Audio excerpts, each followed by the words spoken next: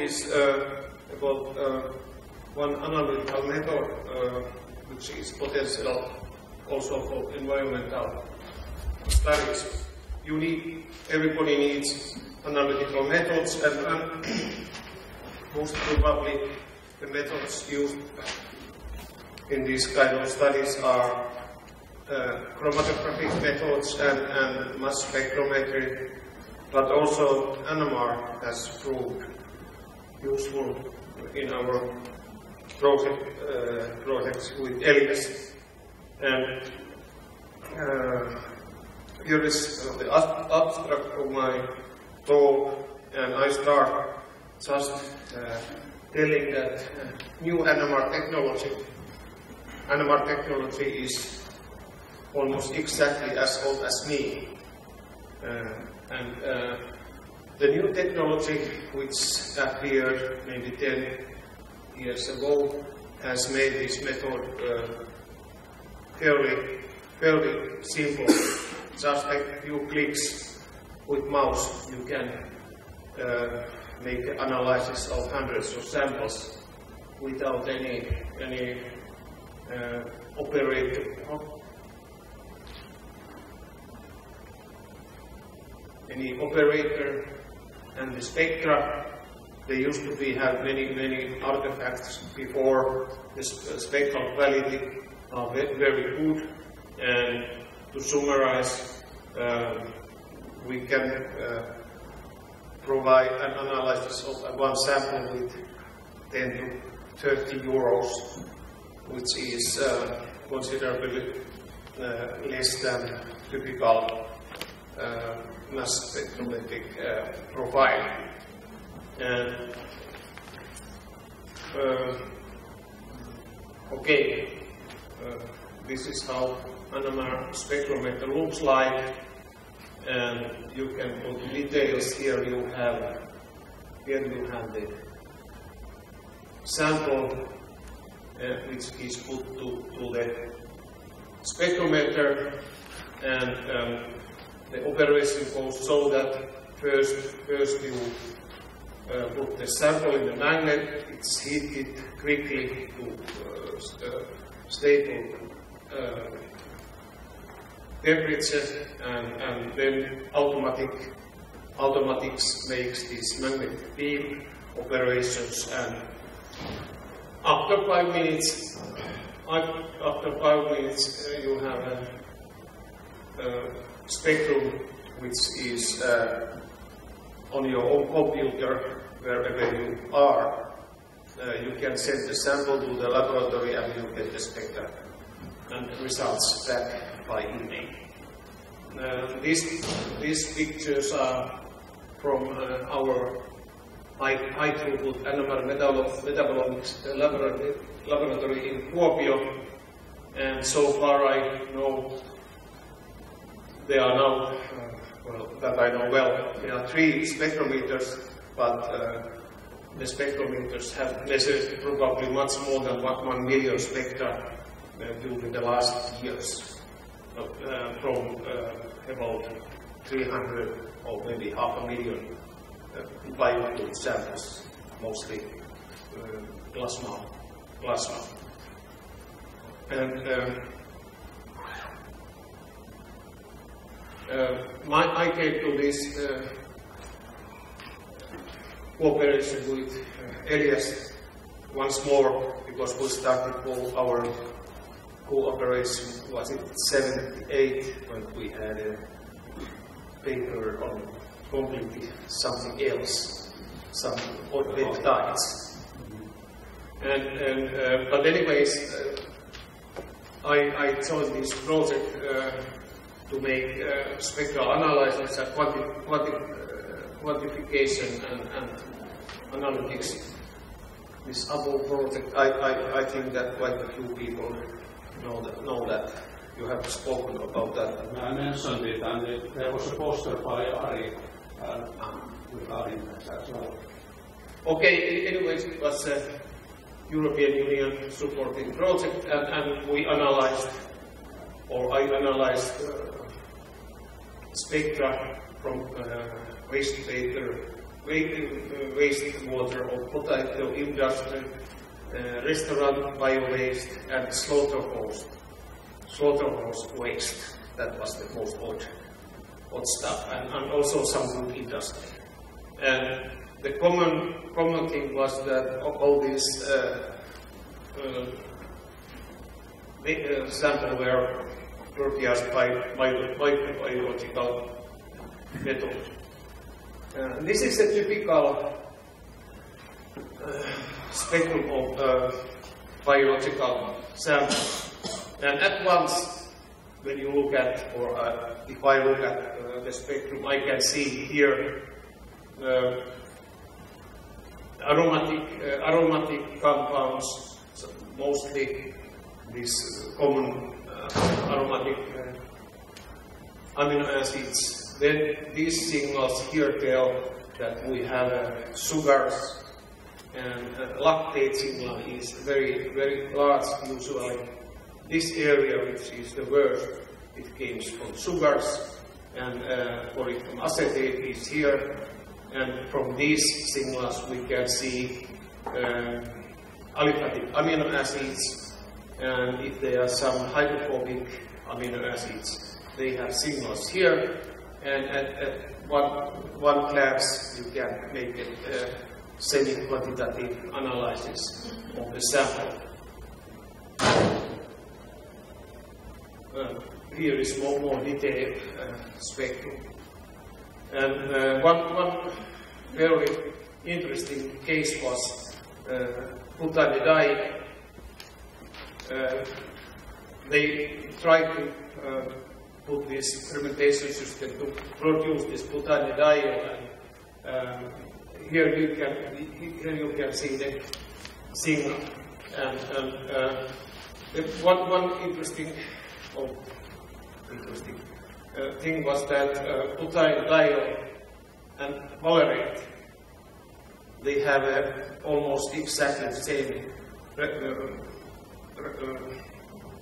factory in uh, chromatography. So they cannot, they cannot, uh, they cannot uh, characterize well, well with chromatography, but as you see, well,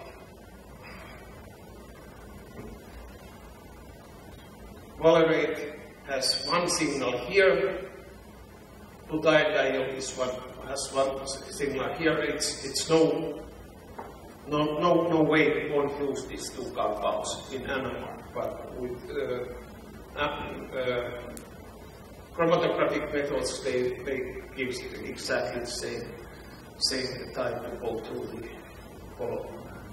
And um, uh,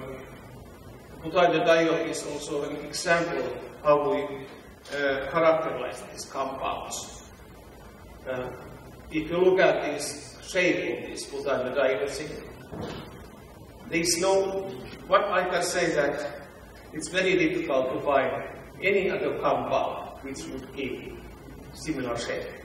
It has a very specific shape, and, and NMR specialists can always, almost at once say that, okay, what kind of uh, structure is from this uh, the seed. But I don't go to details. And uh, for example, here we have ethanol signal or propionate signal, and uh, the splitting these two lines here. It's very specific for propionate. It's different for propionate, ethanol, or butyrate, or valerate, and, and also by measuring this distance, one can say at once what kind of compound or what, from what kind of uh, system this signal is coming from, if you don't know it, for some other reasons. Uh, we have uh, we have been developing a method which is uh, strongly based on, on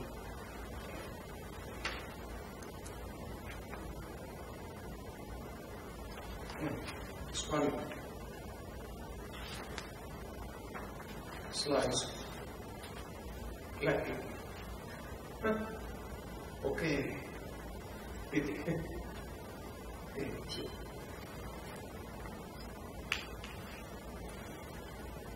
Yeah. We, uh, one, the, first, the slice tells that if we take this kind of observed spectrum, this would be observed NMR spectrum. We uh, transform the spectrum to uh, six numbers. And from these six numbers, we can simulate the spectrum. And uh, for example, if we have this kind of uh, observed spectrum, we simulate the spec uh, analyze the spectrum, get, uh, and, and, after that we can simulate the spectrum in, in any other spectrum. So this this makes this method uh, independent of, of spectrometers. If you have mass spectrometer or, or chromatography method, it depends on columns and conditions and weather and pressure and so on. But in an NMR, once we have analyzed the spectrum, we can simulate the spectrum in any, any other conditions. And that makes it easy to make uh, libraries of novel compounds. I don't go to details here, these two slides or more.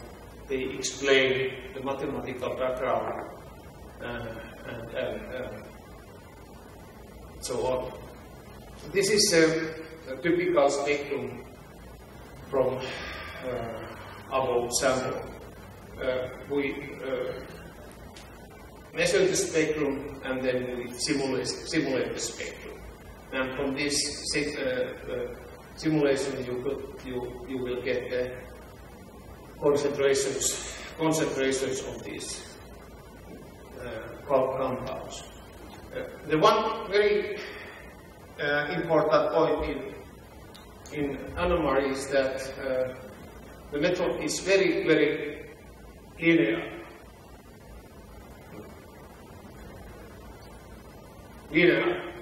So if you measure uh, the signal area, you can transform it automatically to uh, concentration if you have a concentration uh, standard in your sample.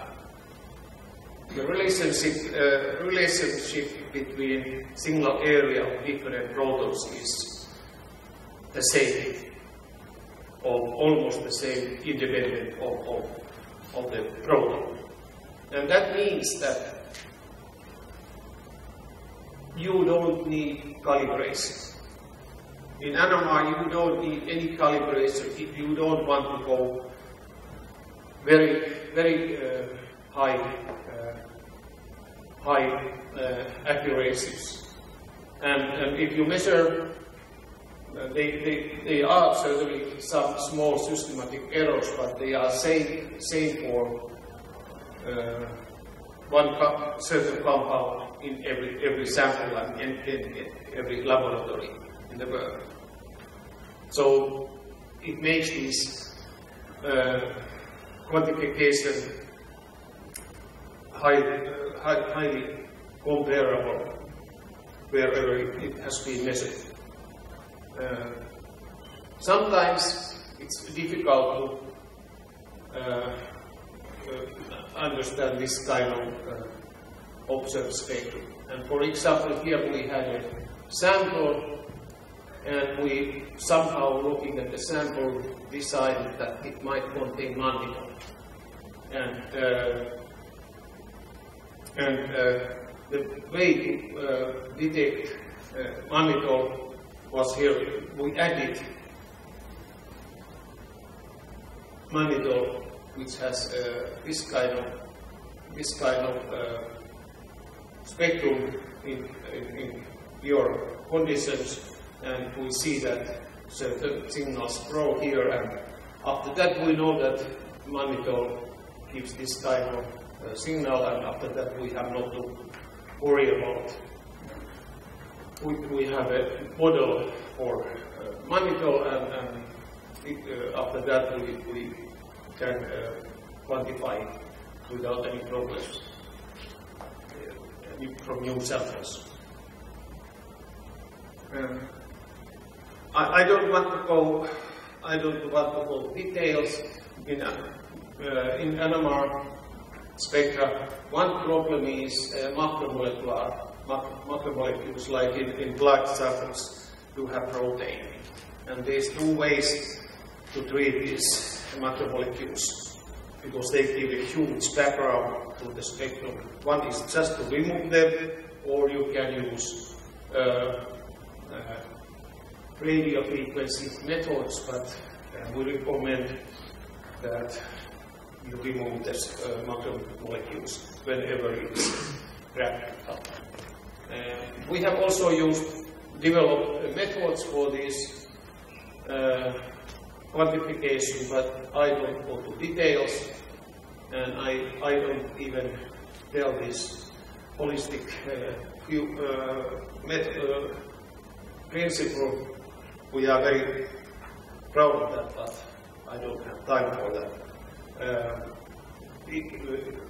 details of this analysis are overview of the analysis shown in these two, two slices.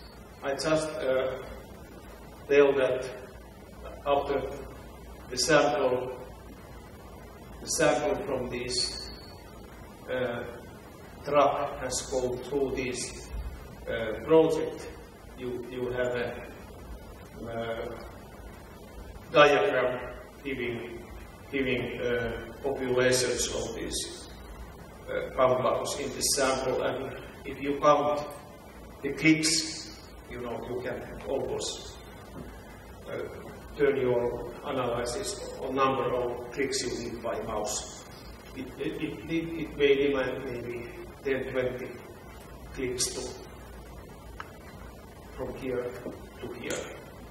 And uh, you, you can have a report for example, in this way it gives automatically uh, milligrams in milliliter. This is my favorite or our favorite way to look at this. Or very recently we also added the uh, feature which with one click you can have this diagram. This shows, uh, for example, how the acetate concentration has changed uh, during the time for one, one experiment. And the flat uh, columns here are just from reference compound. Uh, I have here a few conclusions. Uh, one can probably analyze up to 100 metabolites in one sample. Uh, dynamic range is quite, quite high. Uh, if you have, um, for example, a drug, drug sample and you want to measure some impurities, you can go much lower FDA uh, level for this type of analysis. Here are some applications, any mixtures, impurity analysis, biofluids, bioextracts, and uh, this is uh, this is very very very uh, specific flux analysis of um, uh, isotope, carbon 13 isotopomers behaving in uh, fermentation. Uh, okay. Uh, I, in my title of this talk, I, I used were uh, superior, and I, I, maybe should somehow explain it. Uh, because there are many ways to analyze NMR spectrum, quantify them. But this uh, method in which we use this quantum mechanical theory or method, uh, it, it, uh, it, makes it, uh, let's say, superior. And, and because I think I have to work myself about time. I jump this and uh, uh, maybe it gives the same same thing, but maybe in more simple simple way. Sample prepar preparation is very simple. No calibrate. Instrument independent And uh, semi-quantitative analysis just when you look at the spectrum. And uh, you have also chemical confidence. You can uh, identify uh, components from spectrum with 100% and not like 50% for butanediol and uh, also carbohydrates are very simple because uh, they have a specific uh, signal, one specific signal in the spectrum. But for example, if we compare uh, MS mass spectrometer and uh, NMR mass spectrometer, all hexoses keep the same uh, molecular weight. So that practically all hexoses have identical uh, chemistry. And these are this NMR technology. One thing minus is it's not one line, on, one online. Uh, expertise is needed. Not very sensitive uh, sample size is 43, but for example, with Elias this has not been ever problem because he have one liter or two liters of sample need it. Uh, instrumentation is uh, expensive, but if you measure all the time, the price, price goes nicely down. And, and um, these uh, reference libraries are also some, some uh, problem. And, and, this one on, online, it means that you have to send the sample to the nearest laboratory and they are not they are they, they are not everywhere. And, and uh, with Elias we have started uh, so that it used to take used to take one or two days when we uh, get the sample to, to be measured, allocated the time from spectrometer, and after that it takes maybe one day uh, for me to analyze them. But at this moment, if we make a the logistics good, I think this could uh, work so that you can, if you bring the sample to the laboratory, you will get the result at your computer uh, one day. In the case we have a constant of these samples to the laboratory. But it's a, it's some, it means anyways that it can be used uh, for, for uh, everyday uh, analysis, but uh, it, it's useful when uh, you are working with unknown sample and you you want to you want to be uh, what uh, what kind of compounds you have in, in, in this in, in, your samples and uh, de developing this uh, fermentation of any any bio experiments is certainly useful.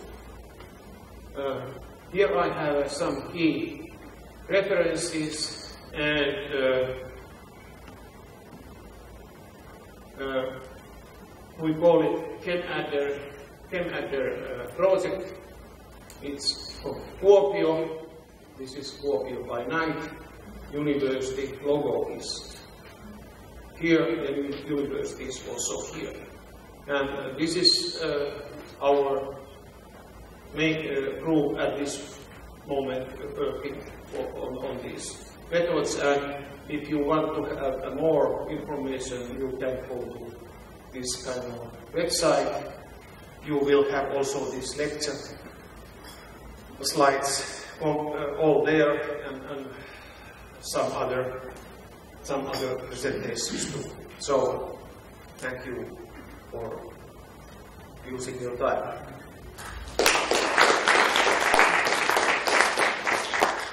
Because I'm chair, I think I can ask to make questions. Okay. You. First of all, it's very impressive method, and uh, I would be uh, interested to know, since you said that um, macromolecules might cause some troubles, but is there any way to analyze with this method, for example, long chain carbohydrates, uh, or is there a certain limit of molecular weight where it's still possible? No, I, I think uh, there's no upper limit if you can dissolve your sample in water or any solvent you can quantify it. Uh, but the, the, the, problem with macromolecules is that the signals are fairly broad and uh, but uh, for example if you take blood sample and you have uh, these lipids or lipids in your sample, you, you can have a, a very nice lipid profile. What kind of uh, people profiles you have in, in, your sample, and this uh, metabolomics group in Kuopio, they, or now they also in Helsinki, they claim that uh, from one sample you can, they can uh, get about 240 different uh, descriptors of the blood. Mostly, mostly those are uh,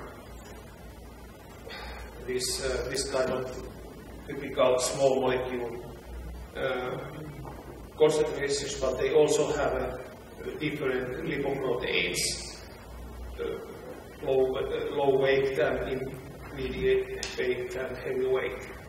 They can have a nice complete picture about blood.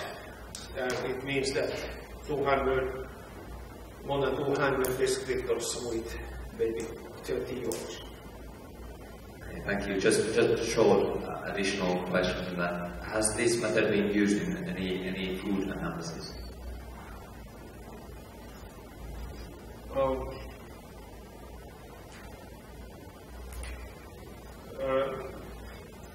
I, I, can see, uh, I can't say exactly what, what, whatever they have done. Certainly it has been used for, use for any, any food material or any biofuel, practically you can use it.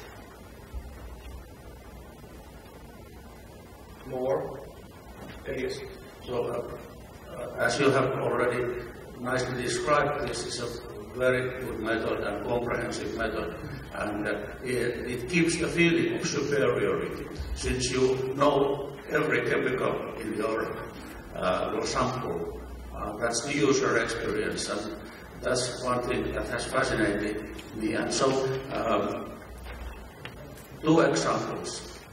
We were dealing with cow slaughterhouse waste, and uh, in that pro process, we were searching for some other substances. Wanted to produce some biochemicals by bacteria, and we also added fructose into the sauce, into the substrate mixture. And then I was in a car, uh, and then Reino phoned me, hey, you should start a mannitol factory. So that's how it happens. You know also the substances which you are not even trying to produce if your, your microbes decide to do, do so. And another example is that Sometimes the micro, microbes can be also budget-wise because we were producing or trying to produce big amounts of butanediol as Reino just described.